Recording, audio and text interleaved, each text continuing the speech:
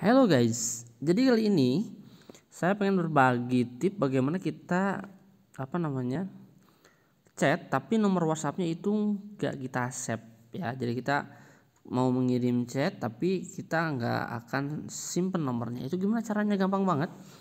Jadi kalian tinggal buka aja Google Chrome, kemudian kalian tekan aja atau ketik aja epi kemudian dot WhatsApp whatsapp.com kemudian kita kasih slash di sini.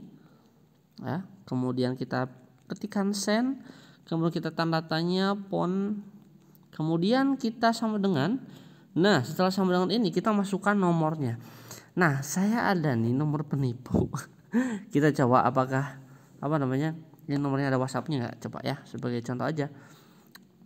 Kita ketik 085 oh sorry 082 tiga satu kosong sembilan lima sembilan sembilan sembilan lima sembilan sembilan lima sembilan empat satu delapan empat satu delapan oke kita copy ya kita cut aja kemudian kita kembali lagi ke Google Chrome nya kemudian kita paste di sini sorry nah jadi gini ya teman-teman semuanya jadi pastikan e, ketikanya benar jadi epi.whatsapp.com slash send tanda tanya pon sama dengan nomor tujuannya kita eh, apa namanya kita send nah di sini kita langsung bisa ke lanjutkan ke chat ya. Nah di sini kita apa namanya eh, tinggal klik aja keluar. Nah nanti akan langsung ke WhatsApp guys.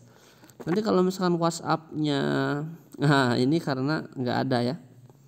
Karena nggak ada nih. Kenapa nggak ada? Karena mungkin nomor handphonenya ya tidak ada WhatsAppnya atau bisa juga teman-teman semuanya di sini kesalahan pengetikan ya. Atau kita pilih plus ya. Plus 62 nah gitu. Jadi kode negaranya langsung. Kita coba apakah ada nggak? Eh sorry. Aduh plus 62 ya. Oke udah.